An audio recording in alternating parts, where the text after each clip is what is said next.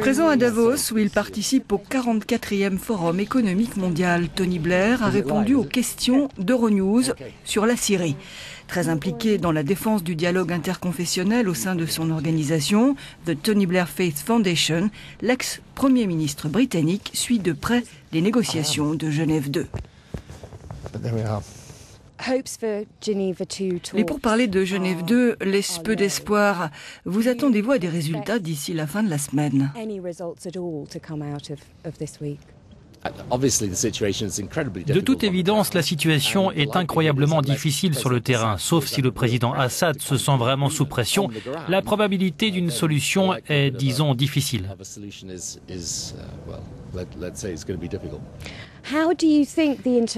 Selon vous, comment la communauté internationale peut-elle aider à réunir deux camps si opposés?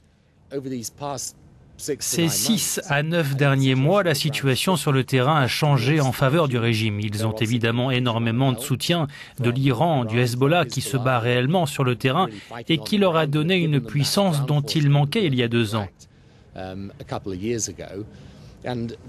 Et je pense que nous, occidentaux, nous devons nous poser la question, comment amener l'opposition à pouvoir négocier d'égal à égal? Maintenant, le point compliqué, bien sûr, c'est que l'opposition comprend en son sein des éléments que nous désapprouvons profondément. Al-Qaïda, les combattants djihadistes, etc. C'est pourquoi la situation est devenue très très complexe. Mais nous ne devons jamais oublier qu'il y a probablement une majorité de gens en Syrie qui souhaitent une solution raisonnable et ont conscience que les différents groupes religieux doivent vivre ensemble en paix. Mais en ce moment, ils n'ont pas les moyens de se faire entendre. Le Royaume-Uni et les autres pays occidentaux doivent-ils envisager l'armement des rebelles? Est-ce envisageable selon vous avec des groupes aussi disparates? Je pense que la première question que nous devons nous poser, c'est sommes-nous prêts à intervenir pour modifier l'équilibre des forces sur le terrain? Je pense que nous devrions être prêts à le faire. J'ai plaidé pendant deux ans pour au moins créer une zone d'exclusion aérienne, non seulement pour donner un peu de répit à la population civile, mais aussi pour envoyer un message au régime. Vous n'allez pas garder le pays sous votre contrôle en réduisant la population civile en pièces. On parle maintenant de plus de 100 000 morts, d'une crise majeure des réfugiés. Pensez-vous que la communauté internationale porte une part de responsabilité en ne s'impliquant pas?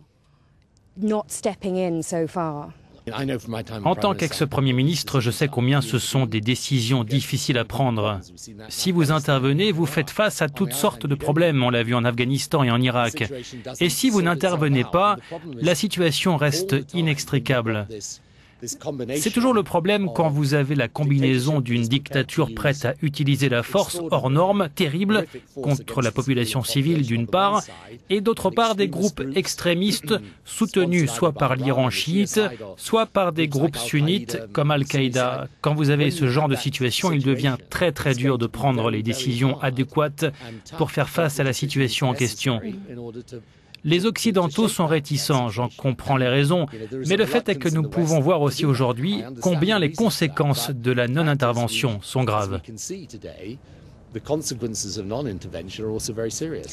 Pourquoi cette réticence occidentale selon vous? C'est très simple, c'est complexe. Vous avez une situation où un groupe comme le Hezbollah est prêt à perdre des vingtaines de combattants chaque jour et à continuer à se battre encore et encore.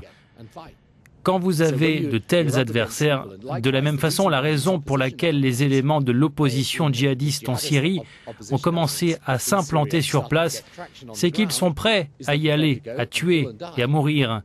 C'est un ennemi difficile à vaincre. Quand vous regardez ce qui se passe dans la région en ce moment, je crois que fondamentalement la bataille se joue entre ceux qui croient en un avenir pour la région, ouverte, tolérante, avec une économie moderne, une société moderne, et les partisans d'extrémisme basés franchement sur une idée fausse de la religion. C'est ça la bataille.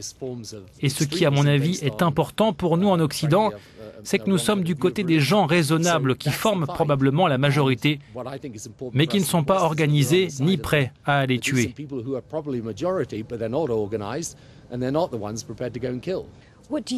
Quelle retombée pour la région si la Syrie continue à sombrer, à votre avis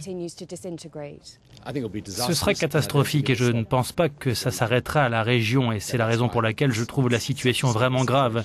Ce ne sont pas seulement certains pays qui sont en jeu. On voit ce qui se passe en Irak à nouveau. Des États comme le Liban, évidemment, comme la Jordanie, résistent très bien à la pression. Mais ils sont sous une très forte pression aussi. Je pense à l'extérieur de la région, nous avons des centaines de citoyens britanniques qui sont allés se battre en Syrie. Ce sont des citoyens britanniques. Ils vont revenir. Et nous avons une importante population musulmane en Europe. Donc c'est très difficile et compliqué. Et je comprends que les dirigeants actuels trouvent ça difficile et compliqué.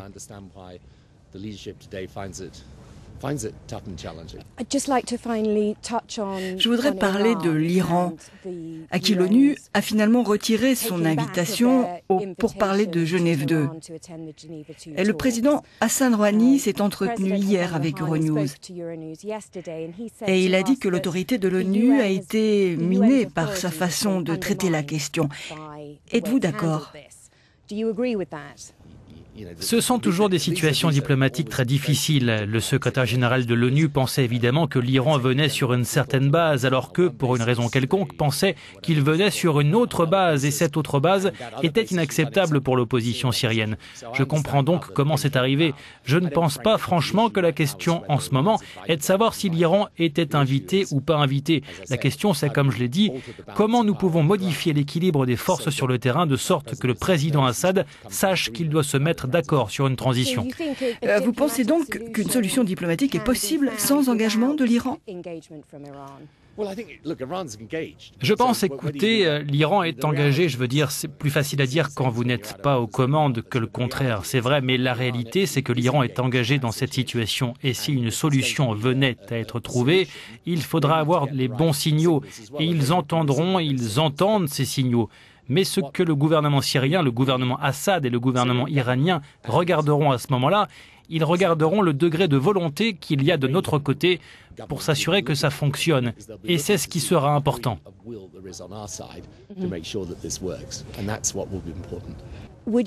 Aimeriez-vous, sur un plan personnel, avoir un plus grand rôle diplomatique pour aider le peuple syrien